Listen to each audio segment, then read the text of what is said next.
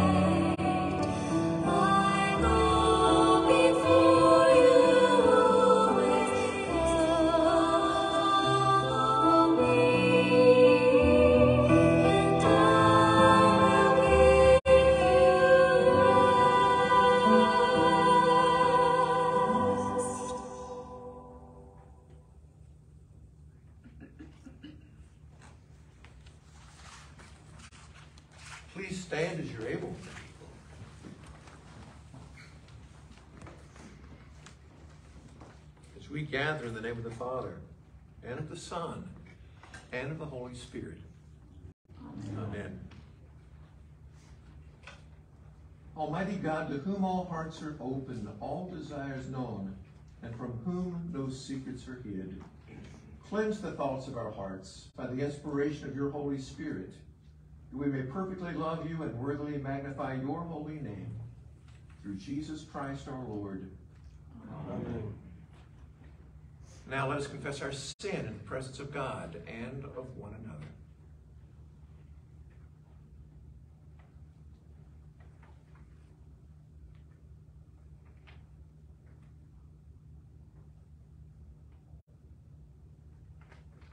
Most merciful God, we confess that we are captive to sin and cannot free ourselves.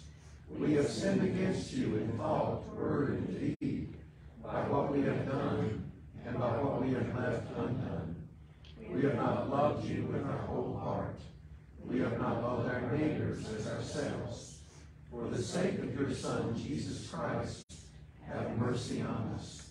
Forgive us, renew us, and lead us, so that we may delight in your will and walk in your ways, to the glory of your holy name. Amen. Almighty God, in his mercy, has given his Son to die for us, and for his sake, forgives us all our sins. And as a called and ordained minister of the Church of Christ, and by his authority, I therefore declare to you the entire forgiveness of all of your sins. In the name of the Father, and of the Son, and of the Holy Spirit. Amen. Amen. Our opening hymn this morning is number 755, Jesus, Savior, Pilot,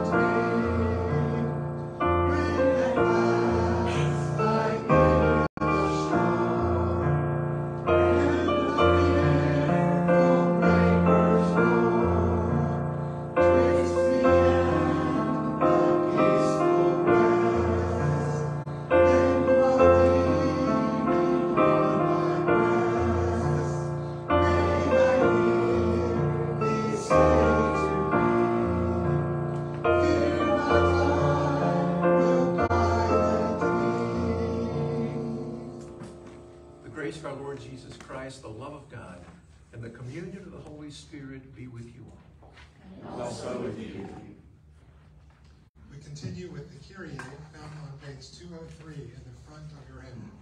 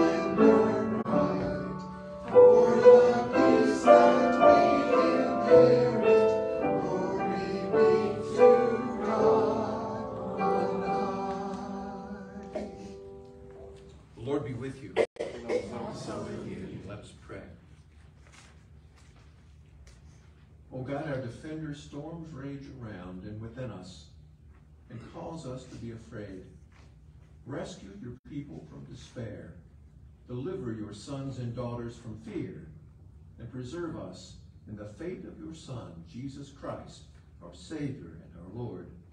Amen. Please be seated.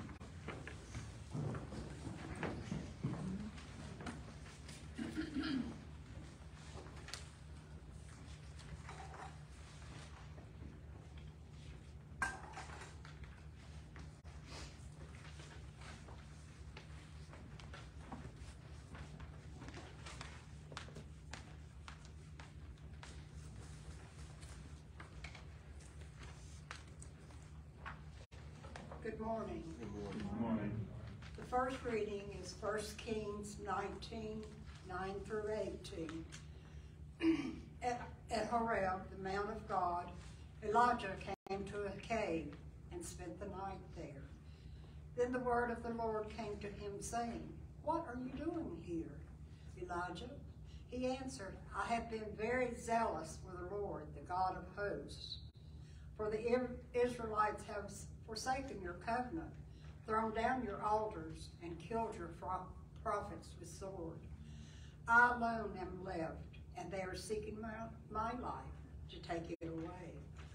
He said, Go out and stand on the mountain before the Lord, for the Lord is about to pass by. Now there was a great wind, so strong that it was splitting, excuse me, it was splitting mountains and breaking rocks in pieces before the Lord. But the Lord was not in the wind, and after the wind, an earthquake. But the Lord was not in the earthquake, and after the earthquake, a fire. But the Lord was not in the fire, and after the fire, a sound of sheer silence. When Elijah heard it, he wrapped his face in his mantle and went out and stood at the entrance of the cave. Then there came a voice to him that said, What are you doing, Elijah? He answered, I have been very zealous for the Lord, the God of hosts. For the Israelites have forsaken your covenant, thrown down your altars, and killed your prophets with the sword. I alone am left, and they are seeking my life to take it away. Then the Lord said to him, Go, return on your way to the wilderness, of Damascus when you arrive. You shall anoint Hazael as king over Aram. Also you shall anoint Jehu, son of Nimshi, as king over Israel. And you shall anoint Elisha, son of Shaphat, of Abelmo, as prophet in your place. Whoever escapes from the sword of Hazael, Jehu shall kill. And whoever escapes from the sword of Jehu, Elisha shall kill. Yet I will leave seven thousand in Israel, all the knees that have not bowed to Baal, and every mouth, and every mouth that has not kissed him. The word of the Lord. Thanks be to God. The psalm this morning, if you turn to it please, is Psalm 58. I will listen to what the Lord God is saying, for you speak peace to your faithful people and to those who turn their hearts to you. Truly your salvation is very near to those who fear you, that your glory may dwell in your land. Steadfast love and faithfulness have met together. Righteousness and peace have kissed each other. Faithfulness shall spring up from the earth, and righteousness shall look down from heaven. The Lord will indeed grant prosperity, and our land will yield its increase.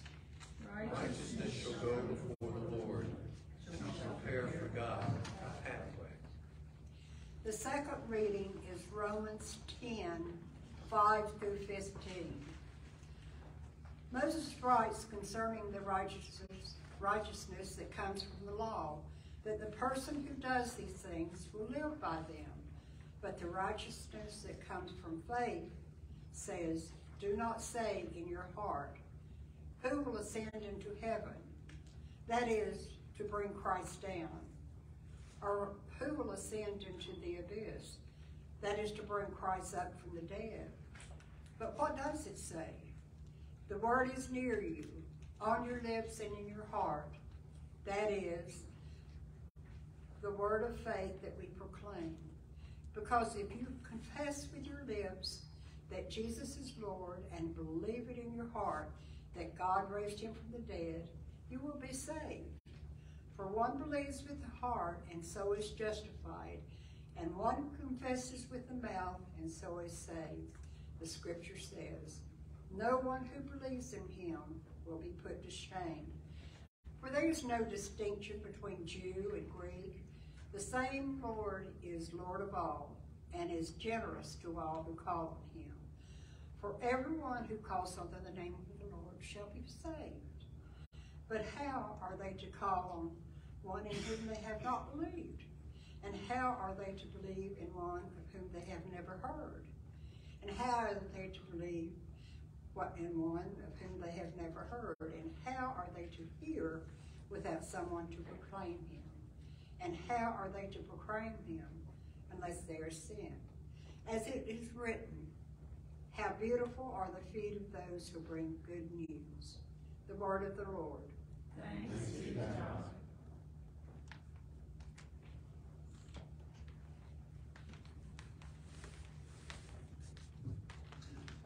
Please stand as you are able as we sing the gospel acclamation. found on page 205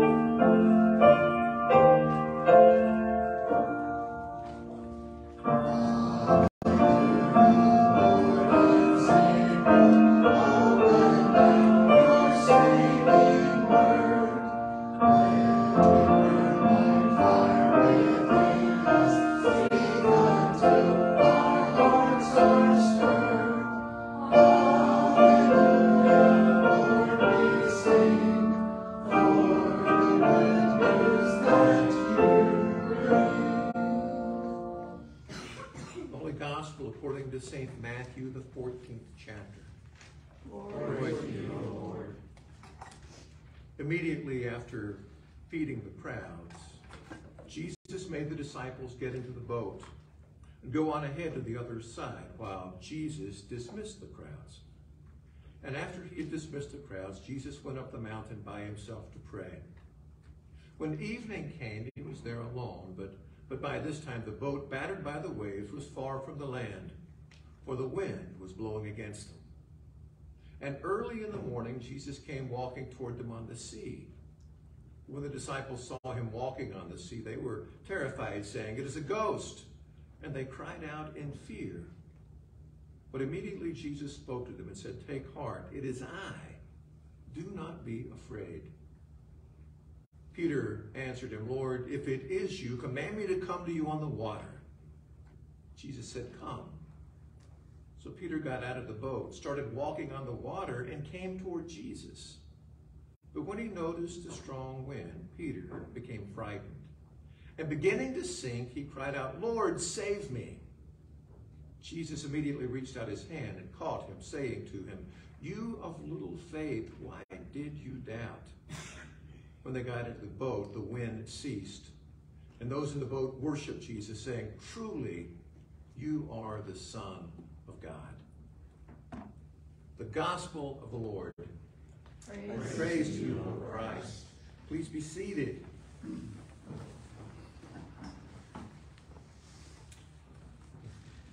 As the uh, storms made their way through this past week, and, and then I was looking at our hymns and saw the second verse of our opening hymn this morning, I was reminded of a story about a little girl who afraid to go asleep to go to sleep alone on a dark and stormy night cries out for her mother. When her mother came into the room she took her daughter in her arms and she gave her a hug kissed her forehead told her that everything was going to be all right and then reminded her that jesus was always with her as the little girl looked up at her mother, she replied, I know that Jesus is always with us, but right now I need a Jesus with skin on. now, while the story is a bit cheesy, the truth is, like that little girl, we know Jesus is always with us. And we know and confess that God is good and merciful and loving. And yet, sometimes when the storms arise and our health fails us, or we lose a loved one, or another mass shooting has us afraid to lose the house, and fear and anxiety begins to drag us down, we need Jesus with skin on. We need tangible help in remembering that God is with us and faithful. In today's gospel, after feeding thousands of people with five loaves of bread and two fish, Jesus commands his disciples to cross the sea while he stays behind to dismiss the crowds and to pray. Much later that evening, in the darkest part of the night, the disciples are still heading where Jesus commanded them to go, and they're far from the land, battling the waves and the wind, when Jesus comes walking toward them. Unable to recognize Jesus, the terrified disciples think he's a ghost and they cry out in fear. But Jesus assures them they need not be afraid, that they are not alone, that he is with them. The promise of Jesus' presence and a growing sense that, that what Jesus commands he accomplishes leads Peter to put his faith into action, saying, Command me to come to you. Command me to do what you do. And it's only possible because it is you. At Jesus' command, Peter gets out of the boat and starts walking toward Jesus. At least until Peter notices the strong wind and becomes frightened. And then, beginning to sink, cries out, Lord, save me, which Jesus grabs him and immediately does. Jesus' question about doubt reveals that the problem wasn't that Jesus commanded Peter to do something that was impossible, because Peter was walking on the water. The issue was one of fear and faith. Peter didn't become frightened because he began to sink. Peter began to sink because he became frightened. And he became frightened because he took his eyes off of Jesus and focused on the storm. Elijah finds himself in that same situation in our first lesson. He has just witnessed and participated in a display of God's presence and power that clearly affirms that what God commands, God accomplishes. Defeating 450 prophets of Baal in a sacrificial grudge match in which God sent fire to consume not only Elijah's watered down burnt offering, but the wood that he prepared, and the stones, and the dust, and the water in the trenches. When the people of Israel witnessed God's power, they fell on their knees and worshiped God. And then they took the false prophets of Baal and they killed them. And then God, through Elijah, brought a rainstorm to end a three year drought. Powerful. So, why is Elijah now in a cave? Feeling outnumbered and alone and vulnerable and ready to give up his calling as God's prophet. Why? Well, when Queen Jezebel heard what Elijah had done to her prophets, she vowed to do the same to Elijah and focused on the strong wind of Jezebel's wrath Elijah forgot all about what had just happened. He forgot about God's presence and power and how God had been at work in him and through him and became frightened. And sinking into a sea of self-pity and despair, Elijah ran into the wilderness to hide and even asked God to take his life because he knew he was as good as dead. But an angel of the Lord provides food for Elijah and water. And strengthened by this meal, Elijah journeyed to Mount Horeb, the place where God first spoke to Moses and, and had entered into the covenant with Elijah's ancestors. And it's there, in the midst of Elijah's fears, that God's word comes to him, not with a spectacular display of power, but in a moment of silence that draws Elijah out of the cave where God commands Elijah to return to God's work, promising that he's not alone, that, that the God who protected him during the three-year drought and displayed his power in the destruction of the false prophets and ended the drought when Elijah prayed for rain and provided food and water in the wilderness and brought him here has not abandoned him. There are over 7,000 people in Israel who have not worshiped the false gods of Queen Jezebel. We focused on God's presence and trusting in God's promise and God's faithfulness. Elijah will leave the mountain and do as God has commanded, anointing Elisha as a prophet in his place. And the same will be true for Peter and the disciples. When, when Jesus and Peter get into the boat, the winds cease, the disciples worship Jesus and bear witness to him as the Son of God, and they continue to cross the sea. They continue to go where Jesus commands them to go and do what Jesus does. But this won't be the last time that the disciples are afraid. Jesus will soon tell them that as the Messiah, he must suffer and die and be raised, and they want to follow him, it's going to cost them everything. Perhaps even their lives. The disciples, the community to whom Matthew writes, the church itself throughout the ages will find that following Jesus will often take them far from the shore. And they'll be battered by the wind and waves of rejection and persecution, even by their closest friends and family. And it will mean sometimes leaving the safety of the boat and doing what's only possible because Jesus commands it. And what Jesus commands, Jesus accomplishes.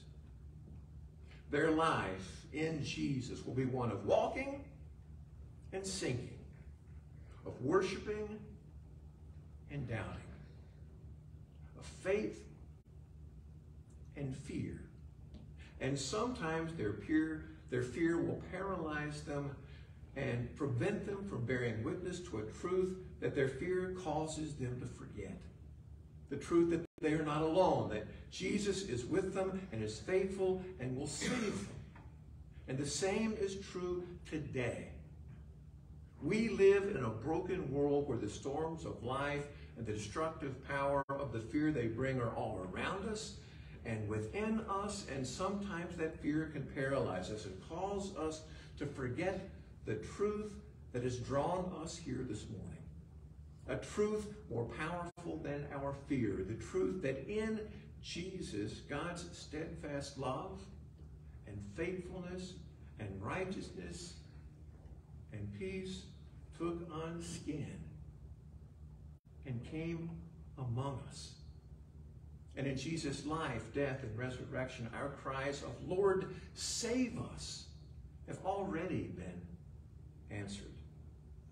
And of course, the truth that we are not alone, that, that in Jesus, through the power of the Holy Spirit at work in the word proclaimed, in water and bread and wine, and in his body, the church, God is present and continues to deliver us from the things that we fear, forgiving our sins, strengthening our faith, freeing us from our fear of survival, so we may go where Jesus commands and be about his work, extending his hand to those who are tossed about and tormented by the storms of life, collecting school supplies for neighborhood children food for South Caldwell Christian Ministries, and caring and praying for the homebound and the sick and the vulnerable, providing opportunities to grow in God's Word through online Bible studies, sharing a fellowship luncheon,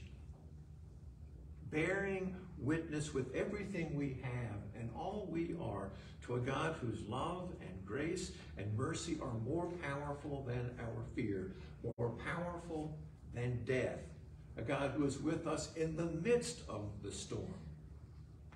A God in whom we have new life, abundant life, now.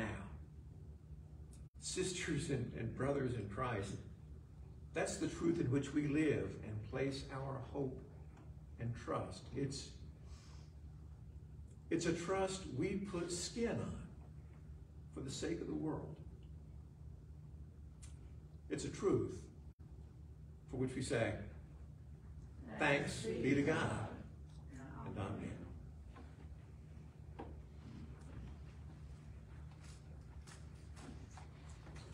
Please stand as you are able. Our hymn of the day is number 756, Eternal Father, Strong to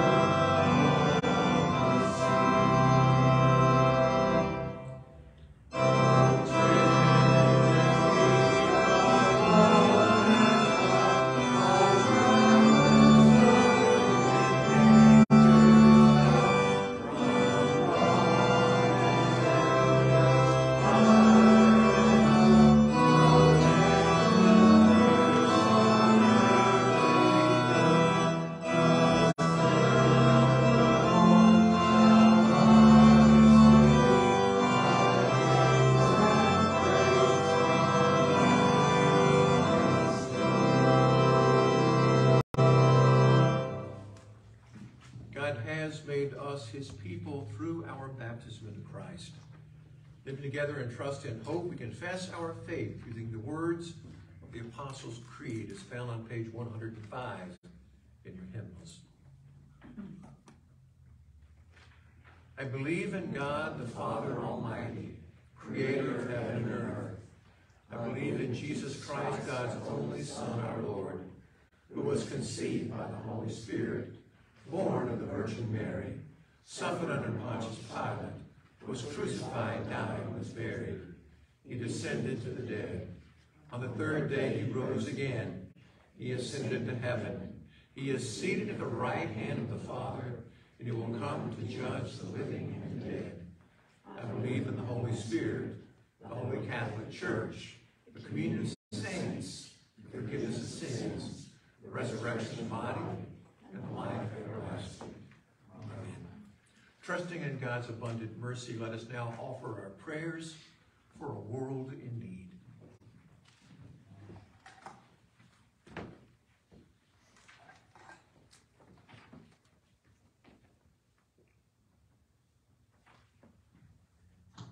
God of grace and faith, your faithfulness is never ending, and your righteousness becomes ours through Christ Jesus.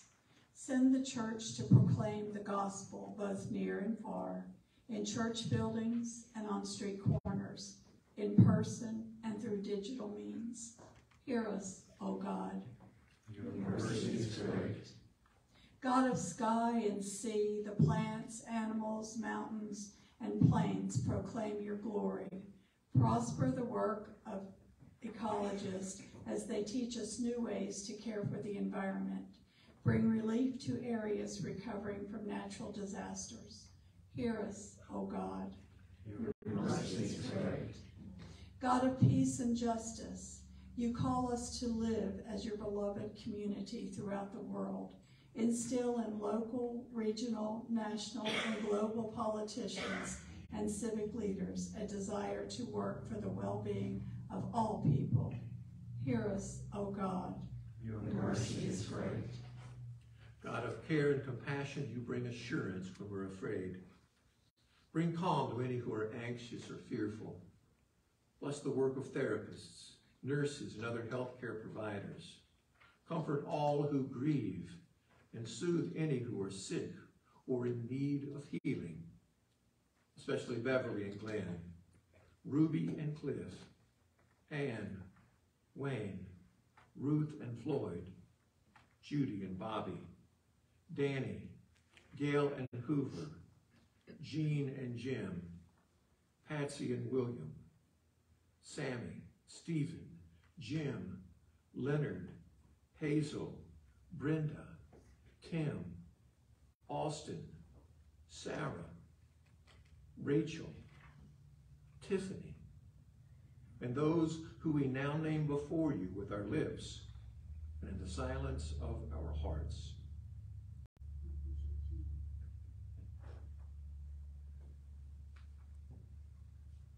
Hear us, O God. Your mercy is great. God of wonder, you accompany us in both joys and sorrow. We pray for the children and teachers preparing for a new school year. Make your presence known in our work and play, in lively conversation and in quiet rest. Hear us, O God. Your mercy is great. God of new life, you send people to renew both church and society. We give you thanks for their lives of faithful service as examples of following your call. Hear us, O God. Your mercy is great. Into your hands, gracious God, we commend all for whom we pray, trusting in your mercy through Jesus Christ, our Savior and our Lord. Amen. The peace of the Lord be with you always. And also with you. Let us share that peace using American Sign Language or extending the hand of fellowship.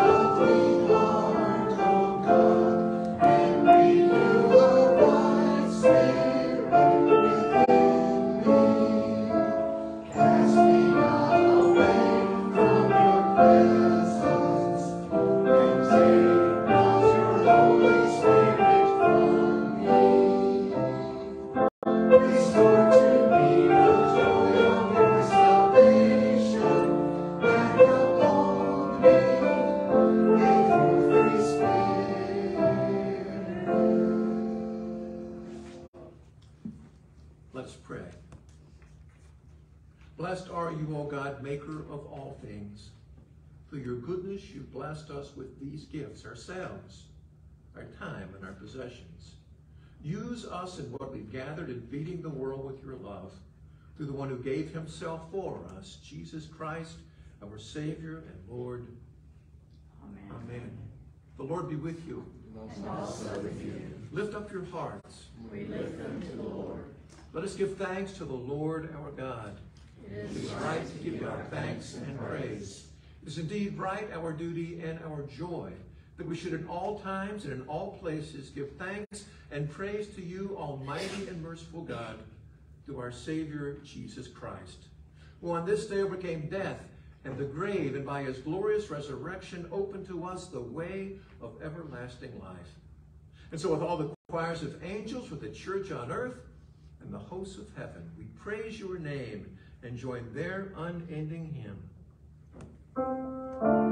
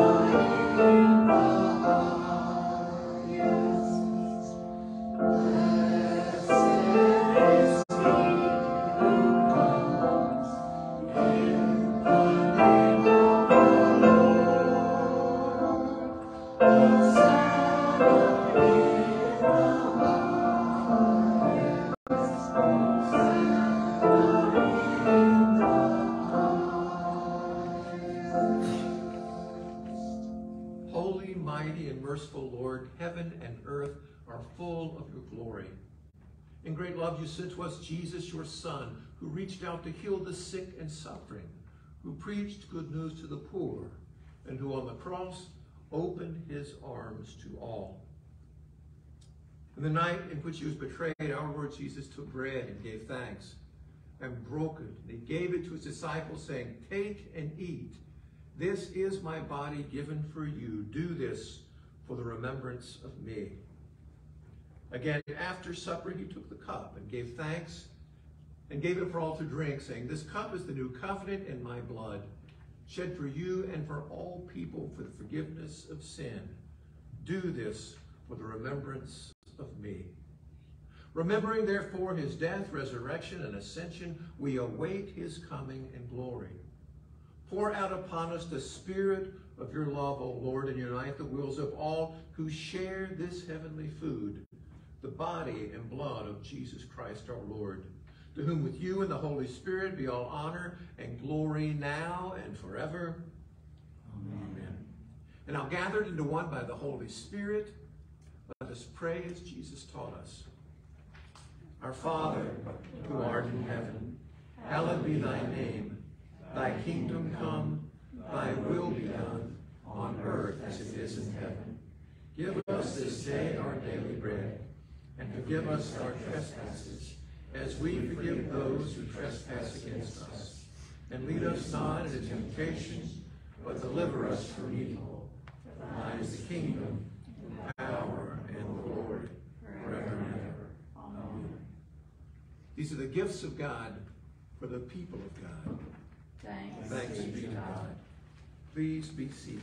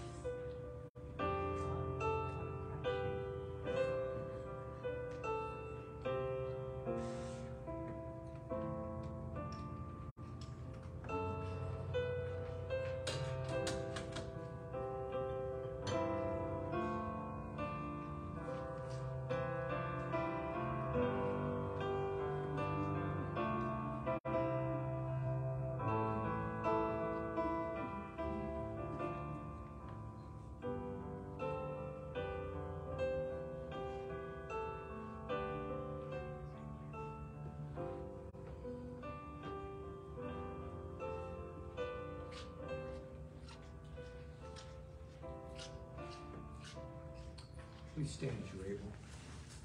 And let us pray.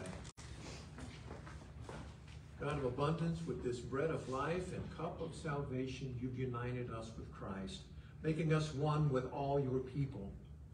Now send us forth in the power of your Spirit that we may proclaim your redeeming love to the world and continue forever in the risen life of Jesus Christ our Lord. Amen. Almighty God, the Father, the Son, and the Holy Spirit bless you now and forever. Amen. Closing hymn is number 785, When Peace Like. Like a river,